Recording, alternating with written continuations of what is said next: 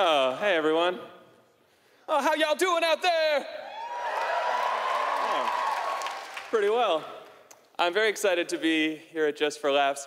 I spend a lot of time on YouTube, love it.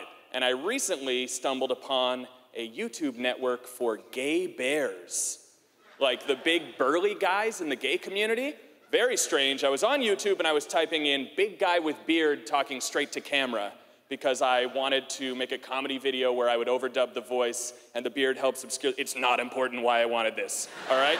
not the point. But I typed this in expecting zero results and it returned dozens of results. And I was like, what have we here?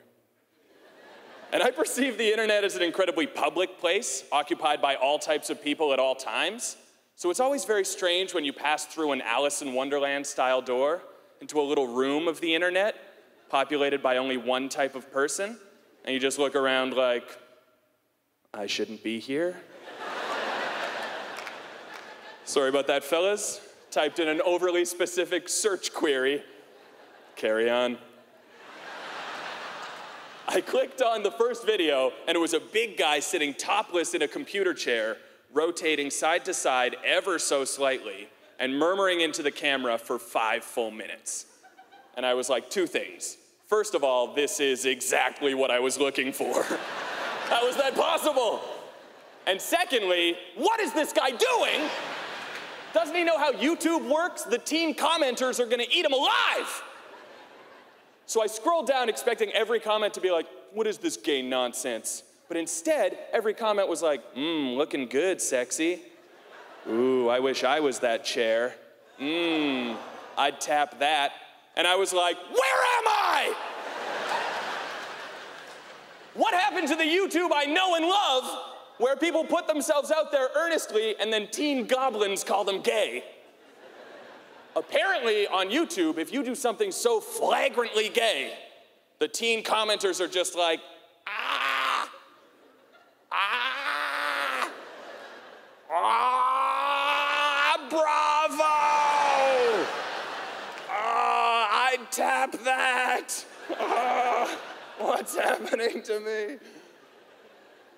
And the reason I specified off the top that bears are the burly guys in the gay community is because I was telling this story to a friend and I said, I found a YouTube network for gay bears. And he went, and then I was like, you know, the burly guys in the gay community. And he went, oh. what? I need more incredulous friends. Even if you thought I had found a YouTube network for homosexual grizzly bears, your first reaction should have been, wait, I'm sorry, what did you say? Not, Tell me everything. Weirdo. I love pranks. I just love them. And I can't wait to be a father so that I can prank my kids. Oh, the best. Drop my son off at school one day, give him my jacket, say, It's cold out today, son, stay warm.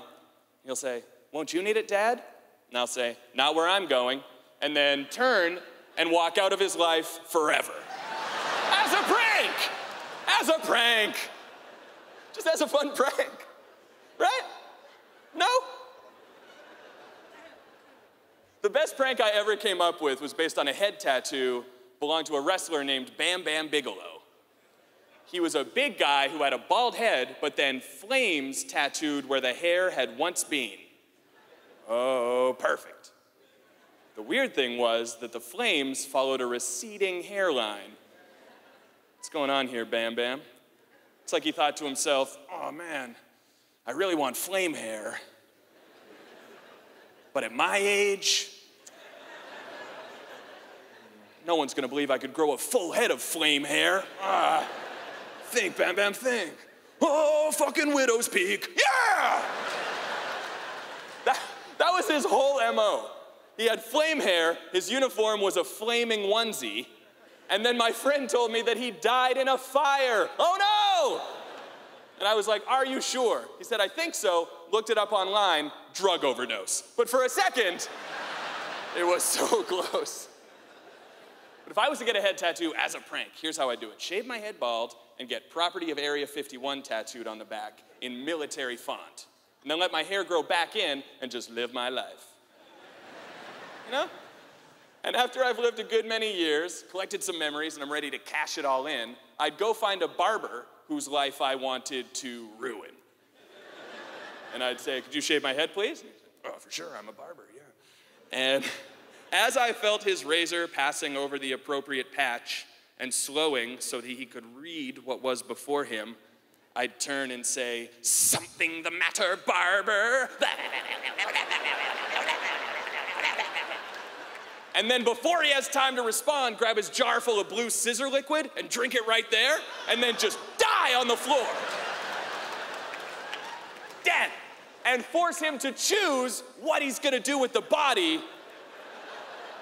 Does he call the cops, or have I made him afraid of the government so he just buries me out back and tells no one?